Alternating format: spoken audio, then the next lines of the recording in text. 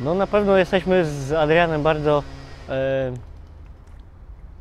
nastawieni pozytywnie na, na ten występ, bo jednak jak, jako zawodowiec mało się gra w, e, w systemie drużynowym. E, więcej, więcej takich występów jest jako w ama, amatorskim golfie.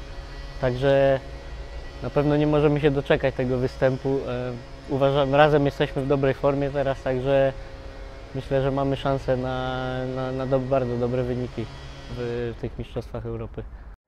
Mamy w grupie dwie drużyny z Włoch i dwie reprezentacje Włoch i jedną z Portugalii w fazie grupowej, także myślę, że mamy spore szanse na, na osiągnięcie dobrych wyników, chociaż nie ma w tych, w, tych, w tych mistrzostwach nie będzie łatwych przeciwników, także będziemy musieli pokazać się z jak najlepszej strony.